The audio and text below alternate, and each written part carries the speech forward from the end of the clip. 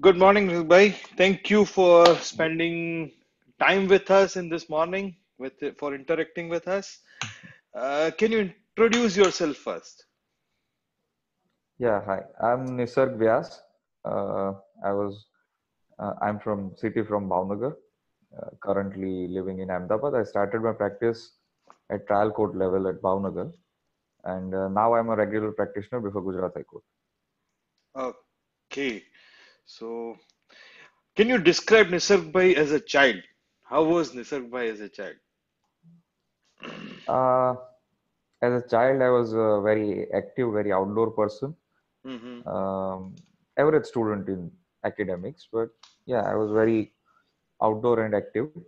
Uh, I belong to a family of uh, political background, so the family always had that thing where you know my parents all were very socially and politically active, so I was very outgoing with them. hmm Uh, mostly grew up with my grandfather, grandparents actually. hmm So my grandfather was also very active and very outdoors. Uh, I get to learn a lot many things from him by spending such time with him about social interactions, how society works, how different sections of society works, hmm uh, how uh, how the governments work, how the how the courts work. Uh, my grandfather was also a lawyer. Acha. Right. He was practicing in Bhavnagar. He was practicing Bound, yes. Uh-huh. So, uh, why, why, why have you chosen? Because of your grandfather this profession, or some other motivation that you have to choose this No, actually, law? I'm in I'm third generation in law from both Uh-huh. sides of my family. Uh-huh. So yeah, that was always one motivation. Another one was that I have seen them work, and and uh, I I know how how much uh, lawyers can contribute to overall development of society, Hmm. and uh, lawyers perform a very very important function, uh, which I liked, I appreciated. Another thing I liked is it that uh, a lawyer's life can never be monotonous Hmm. each case is a new challenge, which is something I was looking forward to. Like everything uh, is very dynamic. Hmm.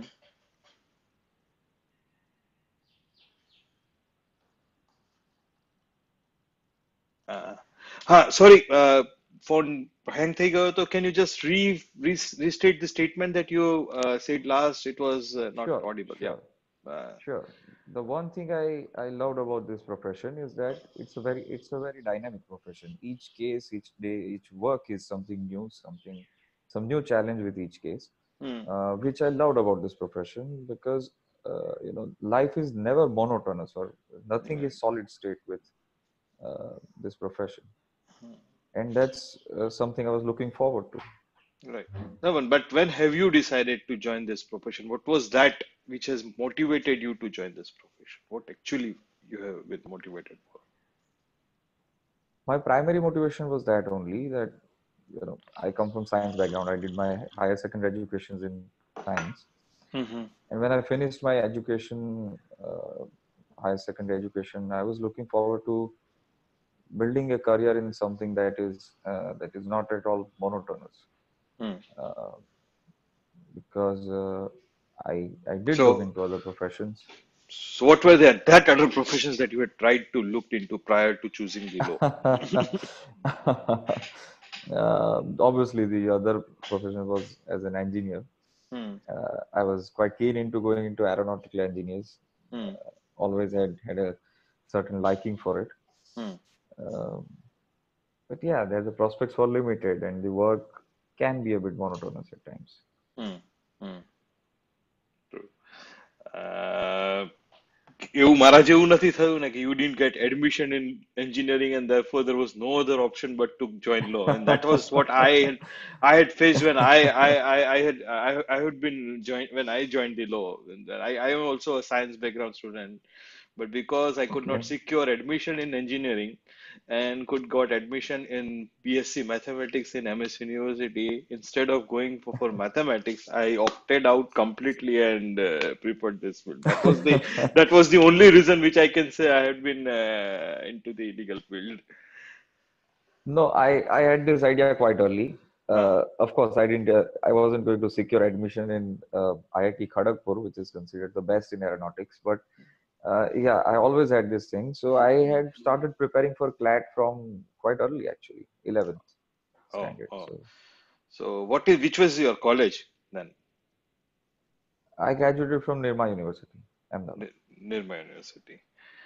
Right. So, and what was the uh, what what have you learned from your alma mater actually? What have you what do you carry along till now from your alma mater, from your The most important thing that, Yeah. yeah, the most important thing that we we carry along from our uh, academic education is is is the way we were taught to work and the way Mm, we were taught to research. Nirma uh, is is an institute which is very sincere, very serious with its education, mm, and uh, they work make you work really hard. mm, working hard is something that that we got trained in, and uh, some of the faculties were very good at teaching us uh, how to research a particular subject. Like one thing I still do, which I learned from uh, my days in Nirma, is that whenever I have to uh, study any law, we we don't as a even as a student we never read commentaries. We directly read the bare act, then we try to uh, you know construct the concept out of any particular legal provision, and then we research the law around it. And mm, that is something that I learned in my college and I have done ever since. I've never read commentaries, uh, directly go to bare provisions, and you know sort of reverse engineering the whole thing. mm. Nisarg bhai, uh, has been seen nowadays that whoever is being graduated from the from good universities, the five years, they usually opt for uh, campus placements or rather firm Yes. placements in firms or corporate bodies. Have you not ever opted for that? Uh, no, I've had a few uh, offers, but I have never opted for that. Any specific reasons for that to left leave that offer and join litigation? uh, for me, the reason was particularly, you know, to have a personal identity. It was something very personal. Otherwise, uh, the the monetary gains that were offered were very, uh, very hefty. But yeah, I always had the thing that you know I'll have my own personal identity. Like my father is a lawyer, and he is is a Bhavnagar is a small town, and he's a very successful lawyer. So everybody knows him. Hmm. One of the motivation for leaving Bhavnagar and joining starting practice in High Court was also that that I can have my own independent identity. forms sort of absorb your identity. Uh, What do you suggest to the upcoming students, whether to go ahead with the uh, offers that they are getting or to opt for litigation? Uh, I would suggest that if financial restraints are one of the concerns for the the upcoming student, uh, upcoming professional I may tell you, sir, financial restraints is everywhere, everywhere. There, there cannot be uh, would any time limit or any any any time where you don't have financial restraints. then I would suggest that they should go for uh, uh, corporate practice. It is more three reasons. Hmm, It is more structured. hmm, Uh, you start earning well from the very beginning of your practice, hmm, and uh, you know it's very systematic. The the law practice, especially at, at, at trial levels, it's very chaotic. It's, hmm, it's very unorganized and very chaotic. hmm. Right. So, with whom have you started your practice after I completing your started my practice with my father, our, our firm only, Can you name him and then? He uh, would be your senior for that purpose. So, can we have the name of your father, please? yes, uh, Hitesh M. Vyas. Hitesh Vyas. He's regularly uh, practicing in the courts at Bhavnagar. Courts at Bhavnagar. Yeah, Very well. actually, he So, appears in trial courts across Gujarat. right. So, you started your practice at trial court level. Trial court, yes. So, for what time have you been in the trial courts before you actually joined High Court? Uh, two and a half years. Two and a half years. And do do you find any benefit of uh, starting with trial court rather than coming first to the High Court? Or you advise, Absolutely. No, no, no, absolutely. I advise that you you work your way up from the roots. Right. Uh, you learn a lot many things about how the the procedural aspects of the practice are working. Mm-hmm. Uh, that's number one.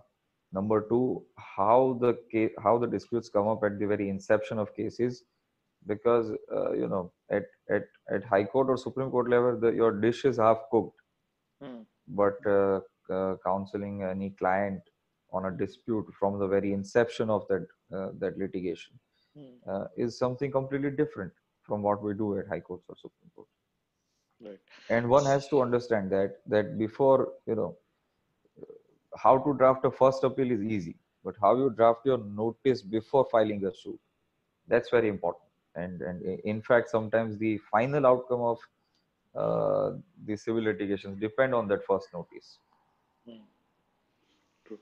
Uh, can you just tell us, you would not, I mean, your condition where if you had not joined the trial court and started with the high court, the things that you would not be aware of then. Uh, things I would not be aware of is first that uh, how the evidence is appreciated in courts. Mm. If you have tra- practiced before, uh, you know, trial court, you can read a cross examination, and in fact, you can you can deconstruct the whole thing. You read the cross examination of a particular witness, and you can practically assume the questions that might have been asked.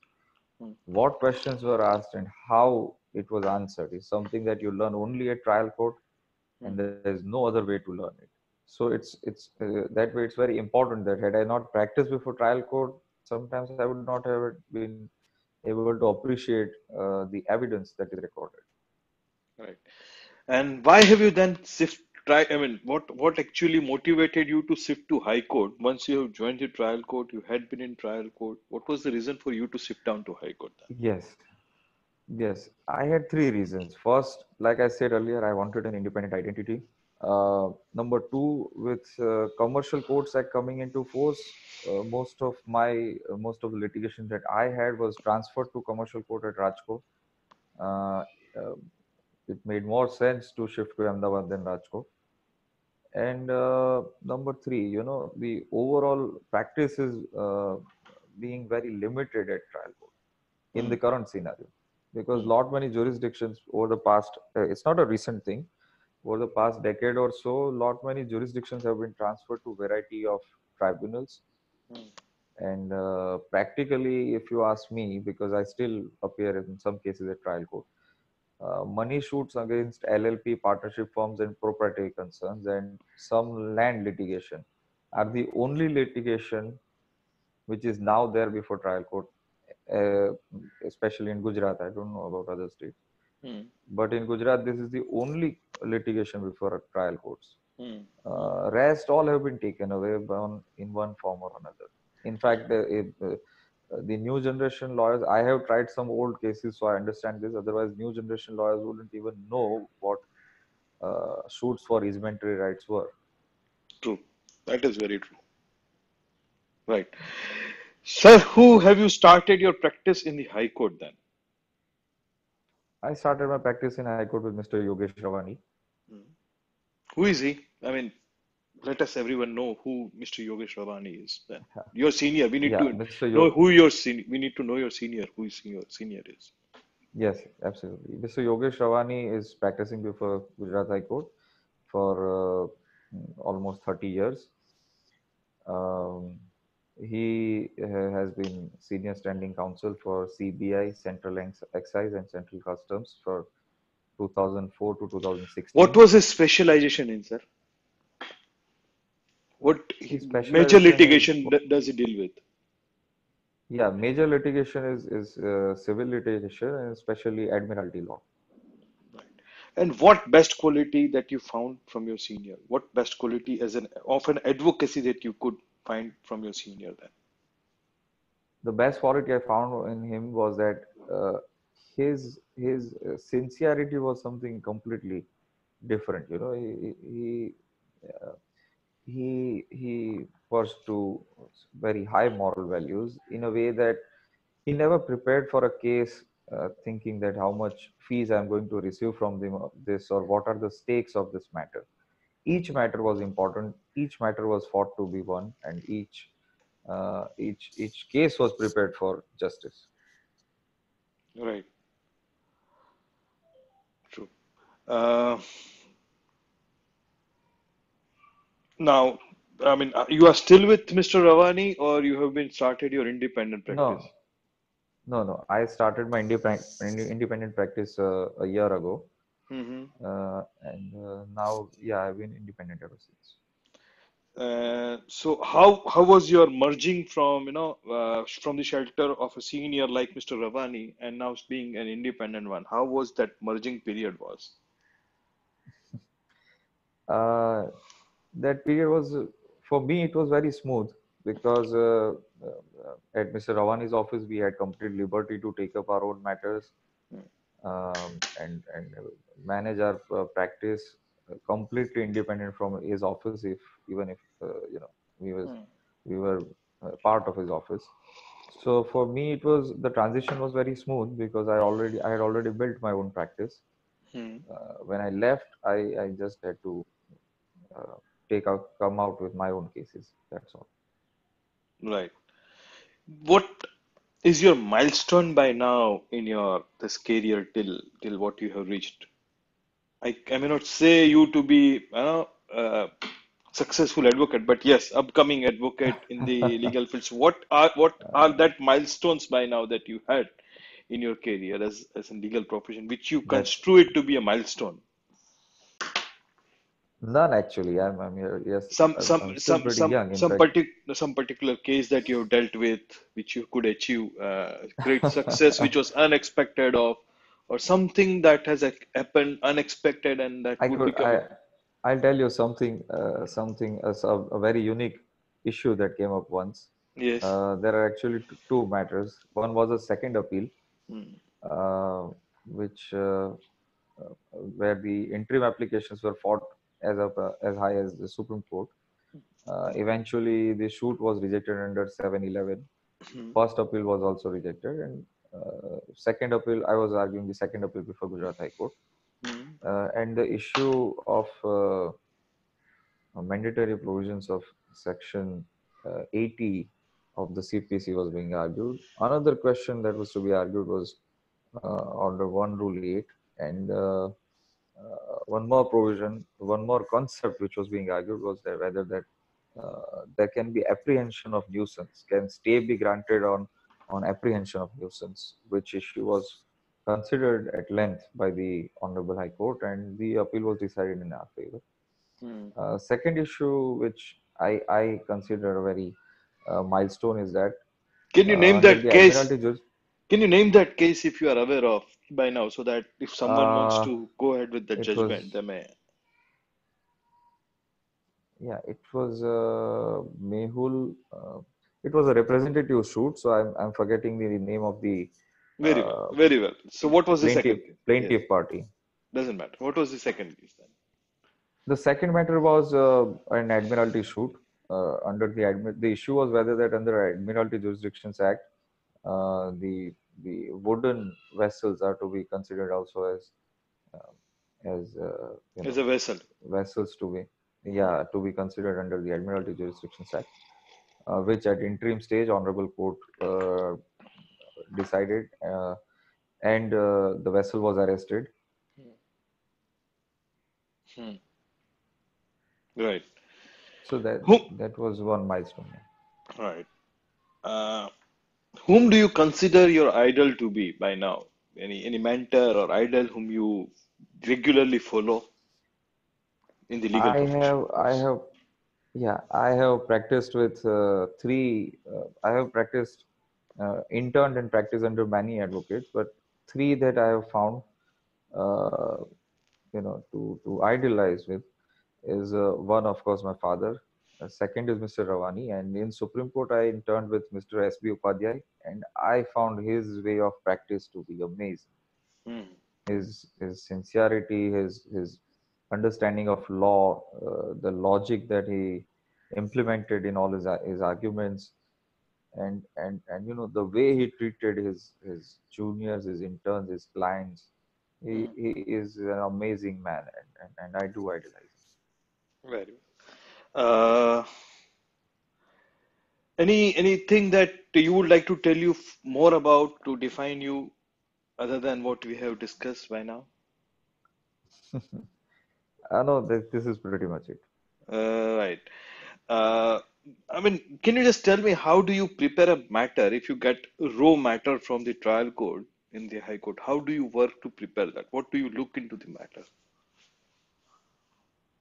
Yeah, the primary thing that I look into is that how the uh, if if it's it's uh, an appeal or it's it's a matter coming from a trial court litigation, Hmm. then the first thing I look for is that how the evidence was appreciated of or if it's an interim at an interim stage, I look forward to see that uh, uh, whether all the concerned issues were taken up or whether they were considered by the High Court, uh, by the trial court.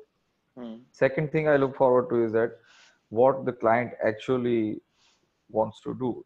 Hmm. That's the first thing I always ask my clients because a lot of people coming up from trial court, their primary intention is just to prolong the matter. Hmm. Uh, I overall don't like taking up such matters. If, if, if the client is not serious about winning and the only objective is to prolong litigation, Hmm. uh, I do not prefer taking up that those kind of matters. So this is, these are the very basic things that I talk to my client about. But yeah, I do wish to have a clear sense of understanding with my client that this is what he wants from this litigation. Right. So, what are your other hobbies than our profession that we have? What are other hobbies that you pursue? Uh, one that I regularly pursue is tracking. Oh. Uh, I I track at least uh, once a year, Hmm. uh, mostly Himalayan tracks. I, I haven't been to uh, southern parts of India, but yeah, I've, I've tracked uh, almost across the entire Himachal. Hmm. Uh, I've tracked across part of Ladakh Valley, Hmm. and uh, that's one hobby I I, I frequently You engage trek in. usually or you drive through? What are your, what is the, what do you follow? You track down or you drive through, you no, cycle? no, no, no, no, we track, track. Oh. No, Oh, no, no, we track, track, definitely. Right. So how do you do that? Because, you know, I've been to, you know, I, I, the Himalayan area is my second home. So I've been to that. Trekking is quite impossible, and quite very difficult, not impossible Uh, rather, but still. yeah, Uh, but for for us, uh, you know, for me, it started quite early because I I've been a life member of Youth Hostel Association for quite some time. mhm. Uh, Youth Hostel is is is the they are the pioneers of Himalayan tracks. Uh, they know Yes. their trails really well, Mhm. And uh, So what are the areas that you have, what, which specific areas that you have trekked into by now? Any area that you like the most of that Himalayan part? I have tracked in uh, you know the eastern part of Uttarakhand uh, up to Mm, Rupkund. right. Uh, then I have tracked across almost uh, entire Himachal, Manali Valley, Parvati Valley, uh, hmm uh, Kulu Valley, Wow. uh, Spiti Valley, or, or all four valleys. Oh, that's excellent. That is excellent. And then I've also been to Chadar track, uh, which is on Zanskar Chadar, correct. River. Zanskar, Zanskar. Yeah, Chadar. Mm. Yeah. Ah, great. Right, sir. Anything that you want to tell us, tell about the advocates of the Supreme Court, or you want to comment on anything about us specifically or me specifically? I, I, I didn't hear that properly. Can you come again? Any anything that you want to tell about myself specifically, or you want to advise us something that you want to tell us? Anything, anything that you want to tell us? Advise me in person or advocates of the Supreme Court uh, as a whole. Supreme Court in general, I would say that uh, uh, either your working days are are to be increased or more judges are to be installed because this this is one problem that matters No, I will be requesting if you can restrain yourself to the comments to the Supreme Court advocates, the advocates Uh, no, practicing in advocates, I, I, I find I find working with Supreme Court advocates uh, really well, in fact, because they are Mm, very professional mm, uh, and at times they, they they they understand the situation of clients really well. mm, Uh, we we rather assume that uh, for them it might be you know uh, very difficult to understand position position of the client because the client is sitting thousands of kilometers apart. Uh, but then their response is very very nice. I, I, I have worked with many advocates, a few advocates on record and a few uh, senior counsels also, and I, I have always had a very good response. Right. Thank you, Nisarg bhai. It was excellent talking with you. Upcoming generation, upcoming students will get definitely get uh, motivated after of this conversation. Thank you very much. You're most welcome. Thank you. Thank you.